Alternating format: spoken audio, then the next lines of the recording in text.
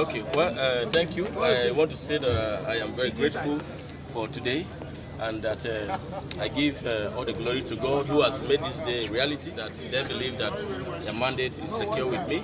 It is my wish and my promise that I am going to speak in their favor and I'm going to hold that mandate in such a way that it will only bring good things to the constituent. I also want to thank my colleagues who have been there throughout my period of, uh, you know, my down period, and that uh, at this point in time, I am only here to, you know, start up where I left off.